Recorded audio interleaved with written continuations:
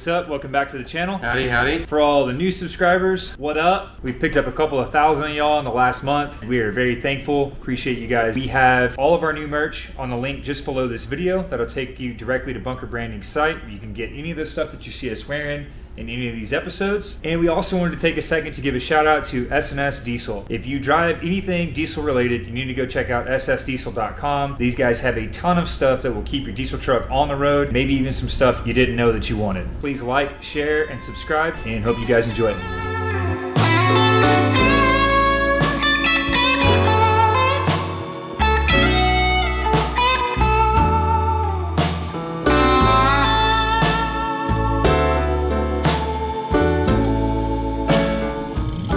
what's up? Welcome back to the shop. What's up, Twelver? How's your brother in them? I don't know, dude. My brother's kind of whack. I'll introduce you to him one day. It'll all make sense. Oh, okay. Yeah, he's weird. So we're back on the CUDA. We left off last time. Steven was finishing up his bracket that we made for a high mount power steering pump. Flip that It's around. fresh back from powder coat. Yeah, it's some poor boy powder coat. I need to powder coat that better still. This is some Dupli-Color out in the parking lot. Built this bracket. This piece sets up here on the intake on that side. Boom, attaches there. The bottom sits down here. Boom, shakalaka, and the power steering pump itself and the rest of its bracket ties into the timing case. I'm kicking parts across the floor. Oh, That. And so we have that solved. Have not figured out what we're gonna do about the belt. We haven't measured the belt length yet. Steven got a bunch of stuff back taped and painted off. So now the engine is all one color. Nice and presentable. As of last night, all the stuff showed up from Smeding. So Smeding loves Matt, and they basically have given him every single component that they make. So we're going with a 464 8310 for the fueling that we have currently. That is the best option for Matt. By the time we get done with the fuel, we probably could have run a single 75 on this truck. Car. Is that what it is? I mean, it, is that not a car? Well, I don't know. I mean, it's got duals on it, dude, and an 11.5 in the back. Like, Yeah, but we, but we still, still have a car. okay, so it's a car. Yeah, dually car. Y'all leave a comment and tell us if it's a car or a truck. They're all gonna say it's a car. Working on this truck, yeah. that is going to be perfectly sized for about 650 to 700 horsepower. That's ringing on it pretty good, but Matt likes high shaft speed, so he'll probably want to get that thing zinged out for what it's worth. whatever you can do to get Max shaft speed, he'll do. We have an intake plate from these dudes. Got some spacers and hardware and stuff. There's a gasket to seal it. And a big bright strawberry red air cleaner. If you couldn't tell that this It's is from Smeding, just look at it. Five inch intake tube, stainless cast manifold. I have not used one of these before. Some bolts. And some bolts. studs, actually. Yeah, studs. Those look like me. They, they look like They're you? studs. Like oh, it- I thought you you, know I meant mean? just having one nut on the end.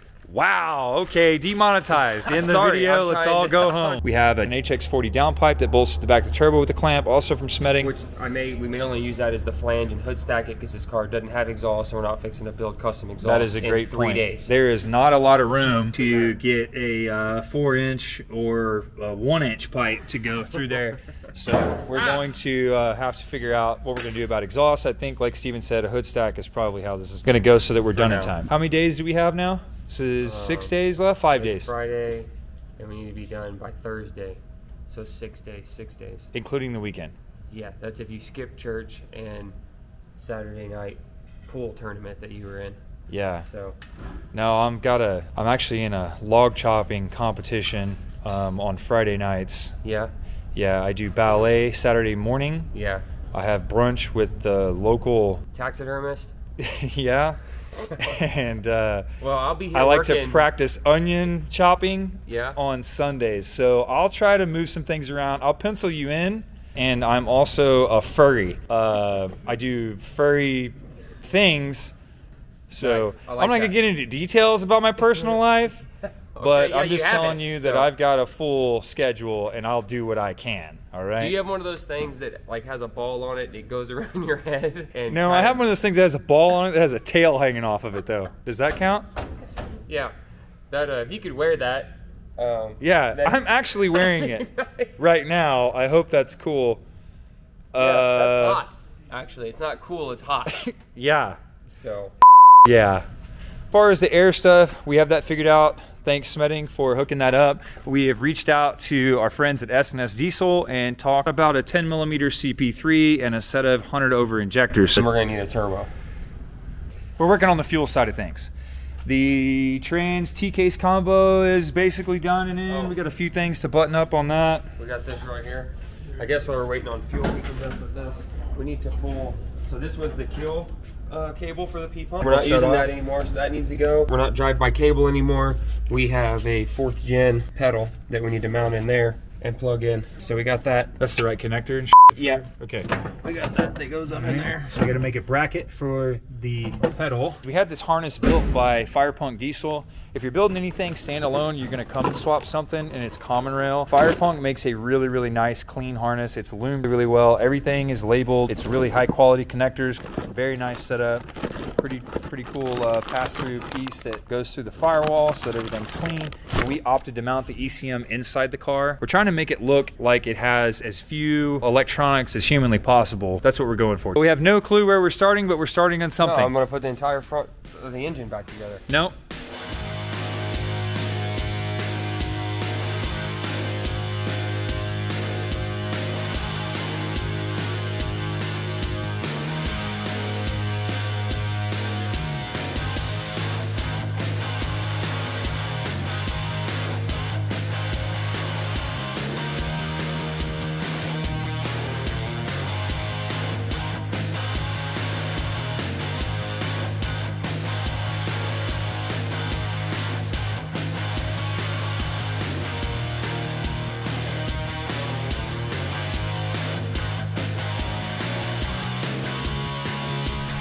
Okay, so making some headway on the CUDA. Today is Tuesday. We need it to be ready and running at the latest, like Friday. We're waiting on a few sensors to show up. That's kind of where we're at, so we can start plugging in the harness, routing all that stuff, mount the ECM today. We have the serpentine belt figured out on the high mount power steering setup.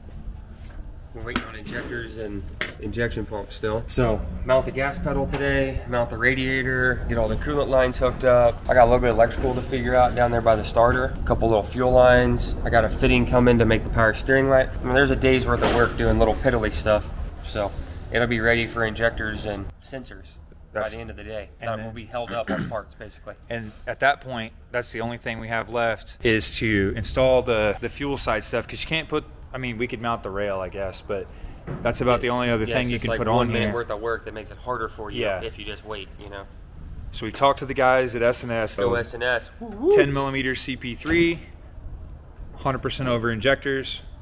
That's enough fuel to make that turbo spin faster than it needs to Yeah. spin. We definitely can't wait for parts to show up because all we want to do is get it fired up and running. We kind of have a deadline, so it'd be That nice too. to, you know, be ahead of the deadline. So in the meantime, while we're waiting on parts, y'all should go to bunkerbranding.com, search Holden Bros, and buy you one of these amazing Holden Bros t-shirts. Nine different shirts, and we happen to match perfectly seven of the eight days of the week. Yeah.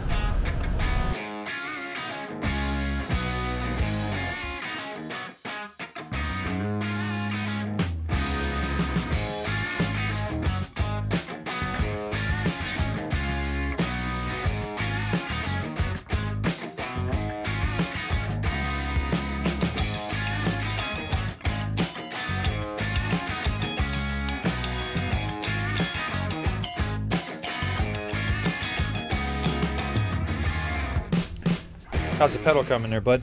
I'm about finished. Yeah? Yeah. What do you got? I got you a piece of non-treated pine that's been oil soaked, so it's, it's treated pine. Um, and I needed an inch and a half thick spacer, and well, that's what a two by four is. So I whipped it in half with a screwdriver, Okay. um, and thinking I'm just gonna self tapper it. I got some metal self tappers to go through the sheet metal into the wood. It shouldn't rip like he's not ripping up on the pedal, so like, Yeah. it shouldn't come out. Okay. Yeah, no, that looks super I could paint it or something.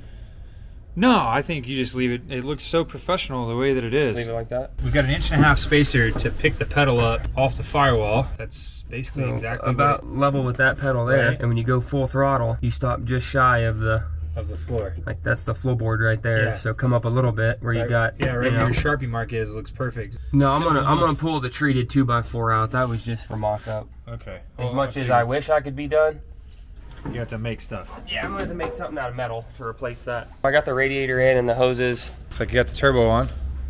Yeah, I haven't filmed that, but it's still on from two days ago. Uh, Yeah, so don't pay attention to that because we're gonna put that on here in a second. yeah, that's gonna that's that was a test fit, not a filmed fit.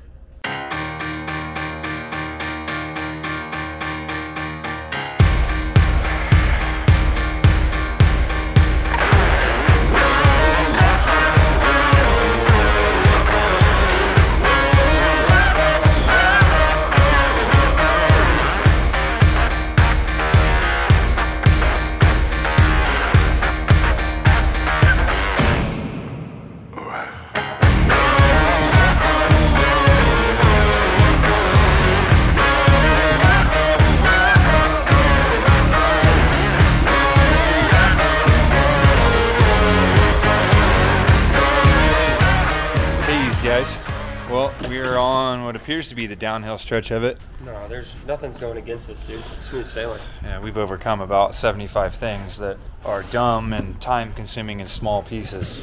But uh, we've got some really good news because Santa Claus came today. Thank you, Santa. Stuff that just showed up from SNS. They shipped some stuff yesterday overnight. Ended up with a 10 mil CP3. This is enough pump to support all the power that we need to make. Goal is to make 650, 700. This is plenty for that. And then we've got a set of 100% over SNS injectors. Their flow just around 280 cc's at 1700 US and 180 MPa. You can basically calculate about 3 horsepower per cc. So if you're at 278, 280, um, well, you're close to 850, 900 horsepower worth of available fuel if you stayed at 1700 pulse and 180 MPa. So uh, it ought to run pretty good. Yeah, we got the fuel. What we don't have enough of is air. So we're running a single 64 turbo. They're comfortable around 600. We're gonna see how comfortable it is around, I guess, 700 plus. Got the valve train stuff laid out here. Injector hold downs, bridges, rockers, trunnions, push rods from Hamilton. We're waiting on connector tubes. They're coming from our local Bosch dealer. We're gonna run the stainless 6.7 style. When we get connector tubes, then we'll be able to set the rail up there, put all the fuel side stuff together, assemble the valve train, keep rocking and rolling. We've got a Fleece fuel distribution block. This uh, replaces the fuel filter housing that came on this truck factory, or on this engine rather. thing that we don't need. This cleans this stuff up really well. Anytime you're trying to make something cleaner, especially if you're motor swapping a common rail into something, this is just too easy because you've got a ton of provisions here for sensors and ports and returns and supplies and gauges and all kinds of stuff. Got the TK stuff figured out this morning. The Not Hero all. case, making that shift, it takes a little bit of patience or a lot of patience. Especially in this setup. We're getting close. Today is Wednesday. Yeah, we should have all the fuel stuff buttoned up today. The main thing that we need is an ECM still that's in the mail or on horseback, wherever it is, we need it. We got our fingers crossed that that ECM works. If it doesn't, reach out to another buddy who has a 2100 that he bought, basically sight unseen from a dude he's never met That's also supposed to work. that should work that we're paying to have overnight shipped to get here also. Now we're trying to get all that together. We're checking stuff off the list. Should have probably wrote a list, but we didn't. We just No, been hey, look. just been hammering. Oh, dude, nice. I got a okay, list. Steven does have a list on the window. He's smarter than me. I would try to pretend like I can remember it all. No, he never had be like, Dude, I did it all. I forgot to put the crank in it. So, anyway, we're on the downhill.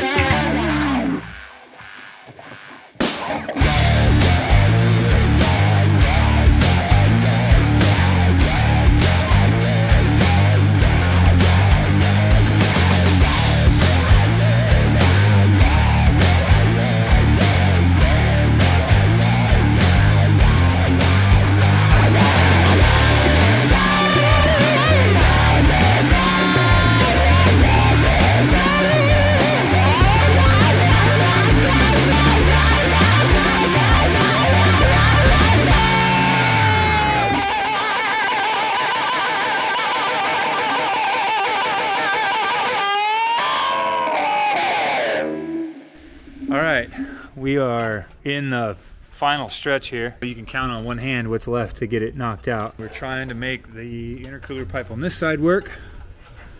We got a ugly ass lower radiator hose. Some of this stuff is just temporary so we can make it out to Super Sausage Fest or whatever. It's, it's called Meat Fest. Right on.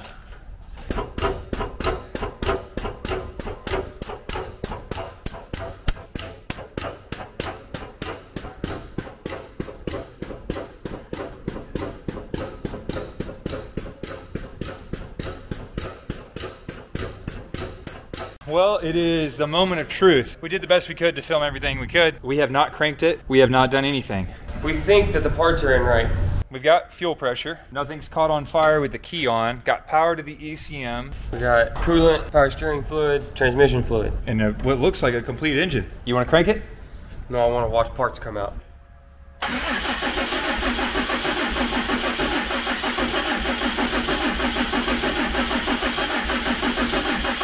Oh, hang on. Did I forget to tighten the injection line?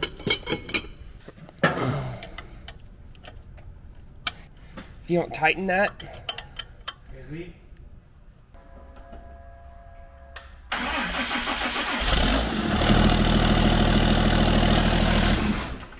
power steering pump drew the fluid down and there's a leak for power steering fluid. Okay. All right. Well, I, I heard six pistons fire. Steven says he left all the lines loose because he was bleeding the air. Yeah, that was. You notice how right after it was bled, it started? I'm a professional. I know what I'm doing. All right, Dumb. What? Film in there and All right, here we go. Uh, film in there. and is anything working there? Is there any gauges? Anything? I don't know. I. I didn't even pay attention. Let's see. Oh, I don't have oil pressure or coolant hooked up, so those may not work. Well, if we, Maybe the tach will work. you'll know if it doesn't have oil pressure. Ready, bro?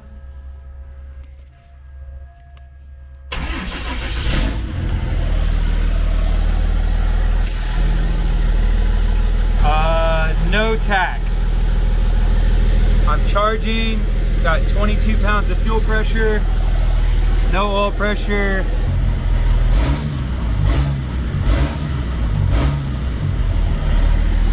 Okay, let's check for leaks and I guess let's check for leaks.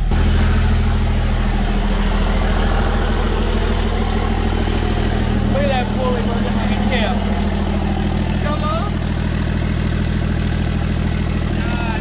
parents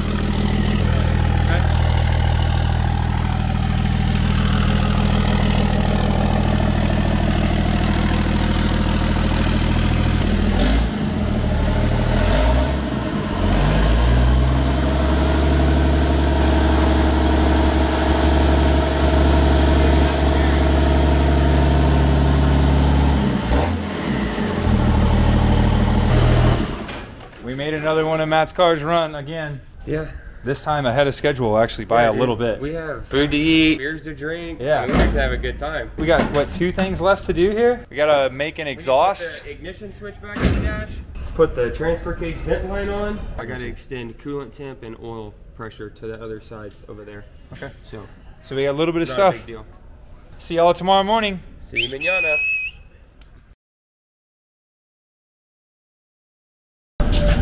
Okay, guys. Sleepyhead. Howdy. How's your mama now? She needs to get up and get after it. We got work to do. You got little poops in there? Let's go, dude. All right, what were we talking about? We split last night. Well, we turned the camera off last night, and we were fixing to walk out the door and realized that we hadn't finished the barbecue pit. Yeah, or I didn't really even say anything about it. Steven had a pretty cool idea about a barbecue pit for. Competing against the best in the world at anything on a barbecue pit. This is definitely gonna make your wagyu steak just taste so much better. First wagyu you've ever had that's got torque. You know what I'm saying? We took our piece of one inch whatever pipe this is called, set it in the mill, drilled the holes on the center line, and tapped it pipe thread for these pieces of copper tube, and then threaded the grill pieces on the end. And when it's done, they'll sit even in the bores. So when you're done, this is what you got. Looks pretty sweet. The idea is to take and mount the little trunk line there off of the main cap bosses with like some flat metal or something we're going to weld to that piece. The top side is going to be this piece of plate that uh, the front guy Danny bought from a crackhead who walked over here off of the interstate carrying this thing. Yeah, and he was got to be one of the strongest crackheads there is because that thing weighs like 80 to 100 pounds. This is now the griddle for the top of that. I think we're going to use like head bolts or something. And then once this piece is attached, we should be able to attach the whip and uh, have a six burner griddle. Happy 12 first ever 12 valve barbecue pit ever. We can do turduckens, ostrich neck, manatee tail, field dress bunny. What else do I eat? I mean, the list goes on. All right, so we get this thing done. Ostrich, pickles, buzzards coming Solid. up. While Steven's working on the rest of the barbecue pit, and I'm actually working on an exhaust tip. I googled an image of uh, what they call a breacher. We were thinking that the the end of like a shotgun barrel, sometimes they have like that jagged cap on the end of the barrel and uh, had a piece of five inch pipe out here I measured it out. I've got the points indicated on the top side of it, split it up into eight equal sections. And I'm going through here with a square and I am drawing the intersecting points at 45s where they cross is where I'll stop the cut. Uh, that'll make my teeth even throughout this piece. And then I think I'm going to drill a few holes in the side of it and hopefully set this piece over. I'm to chop this, just this top section off, set that over the top of the four inch piece that he has and use some like half inch flat strap to hold this piece and it'll look like the breacher on the end of a gun. We wanted to do full exhaust on the car and go down and out the back, but we just, we don't have the time. We don't have the material here either need quite a few things to be able to do that. We're gonna work on this for a minute and see if we can't make something kind of cool looking because we've got about two hours to have the car done, check all the fluids, test drive it, and then drive it uh, out to uh, Matt's place, which is about 20 or 25 minutes from the shop.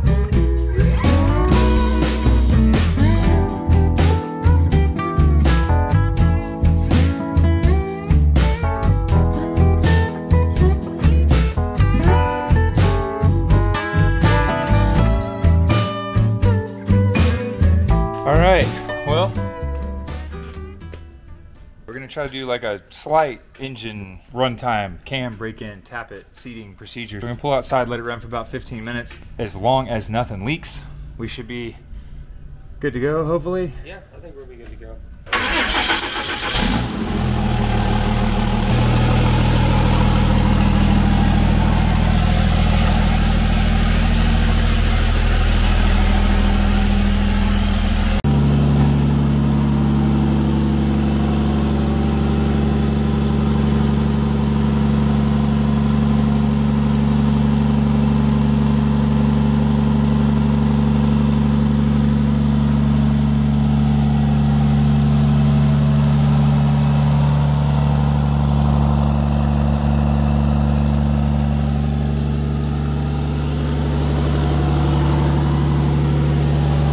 I think we are ready to go. We haven't shown you the finished barbecue pit yet. You just have to hang in there just for a second because we're gonna find out if this is gonna catch on fire and explode on the way out Fire to Meat Fest or not. Oh yeah, I'm gonna grab a fire extinguisher and then we're gonna split.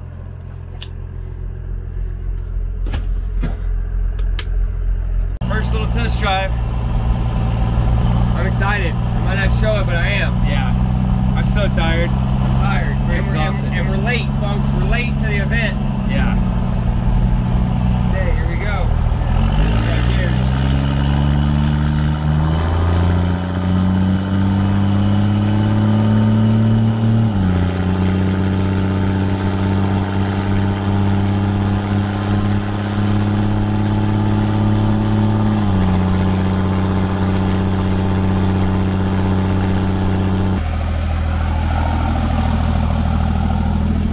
Look like anything's leaking.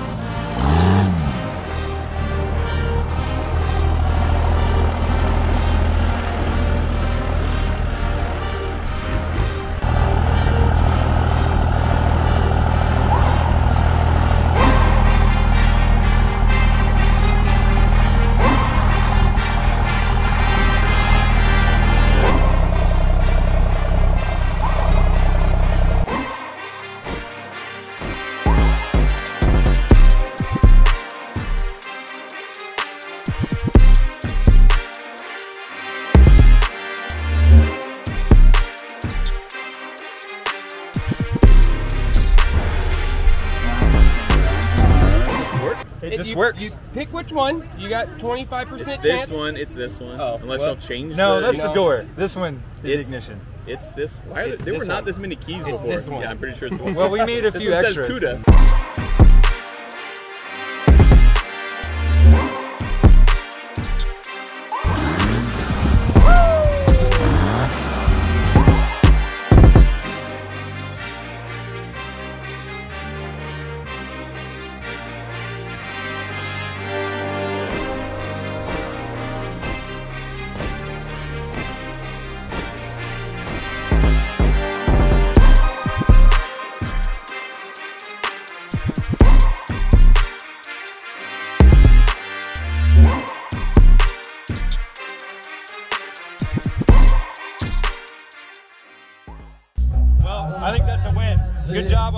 The bro.